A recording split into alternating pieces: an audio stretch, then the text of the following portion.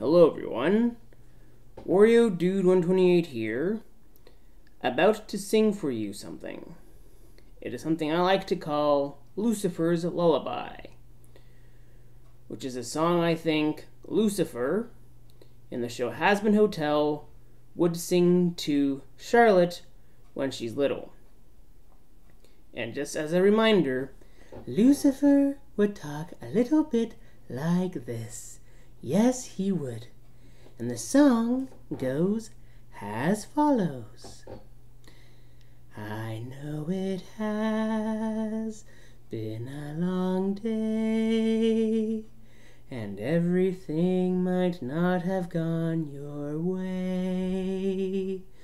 Tomorrow will be better, though, when you wake up you can then show how recharged you can absolutely slay.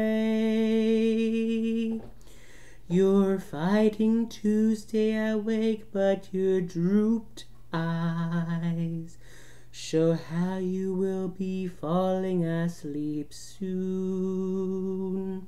So close your eyes right now, tell everybody ciao. Breathe deeply in and out, and have a little bout of sleeping as I end this tune.